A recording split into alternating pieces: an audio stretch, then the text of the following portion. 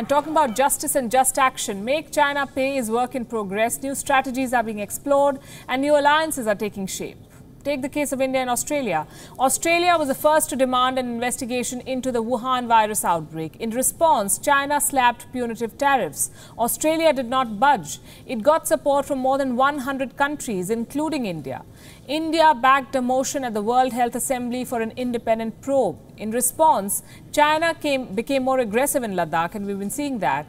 So, India and Australia are now working together. Two Asia Pacific giants joining hands to counter Beijing. A digital summit was held between the two nations yesterday. Indian Prime Minister Narendra Modi and Australia's Scott Morrison met virtually.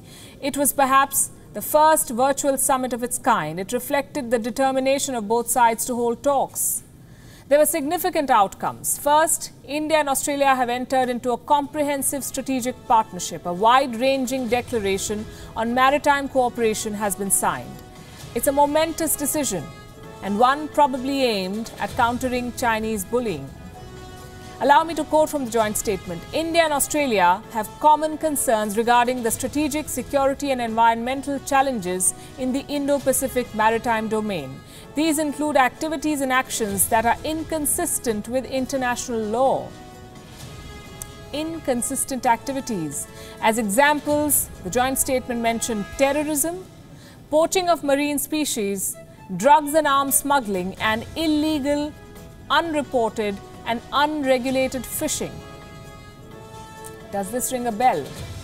Then there's an arrangement for mutual logistics support, cooperation in defense, in science and technology, and this is very important. A pact for sharing military logistics is important. It will give Indian warships and aircraft enhanced reach in the Pacific.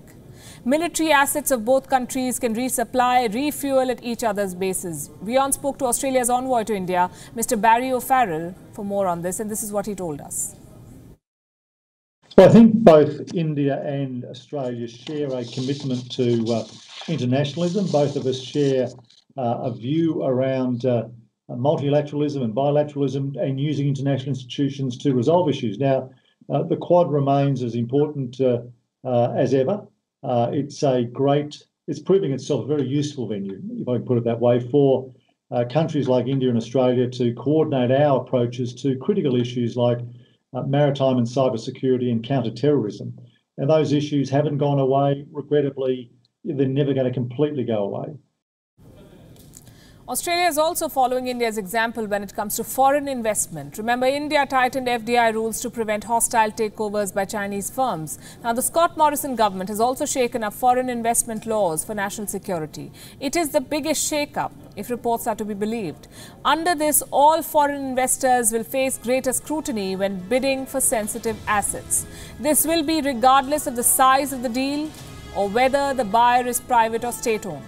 Compliance would also be tightened. The authorities plan on spending an additional $50 million only on the enforcement rules. What does all of this tell you? The China's belligerence at the border with India and its many diplomatic firestorms with Australia have only been a catalyst for India-Australia ties. Both countries may be miles apart, but they have united against a common threat.